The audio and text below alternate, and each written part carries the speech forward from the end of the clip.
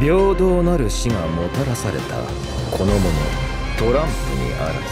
カードに何か別の意図は？こうしている間にも事件の犠牲者は増え続けている。トランプの心が乱れぬように努めるのが我らの役目。